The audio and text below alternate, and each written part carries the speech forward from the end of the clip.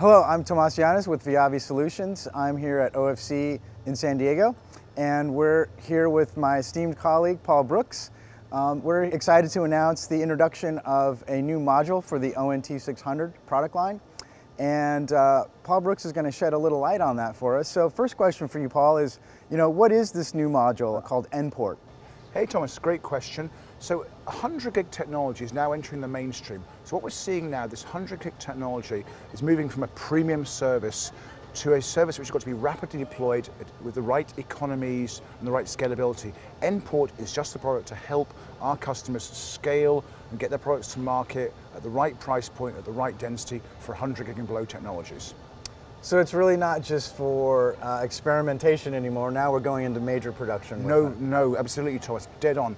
100 gig now has to be at the right price point. It's a very competitive market and people are looking for several things. They're looking at port density, that's the number of ports you can have in a test set that can work in parallel with the depths of features you need. They're looking for the economy, so the right price per port because they've got to deliver products at the right price. They're looking for throughput. That means the ability to test all the deep features you're going to have at 100 gig in a very short space of time. And the NPort is absolutely right for that with its scalability, with its throughput, with its robust ONT family heritage. Those can be put to work straight away to allow our customers to accelerate their 100 gig products to market. So is this uh, product more suited for production versus development?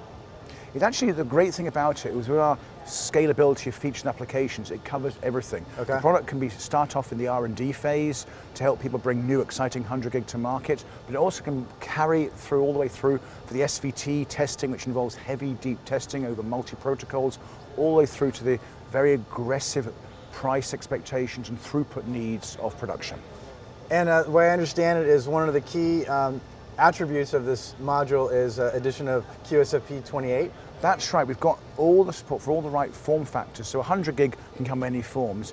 Our native support for SFP and QSFP 28 allows us to cover all the right optical ports which people need in their products for 100 gig class today.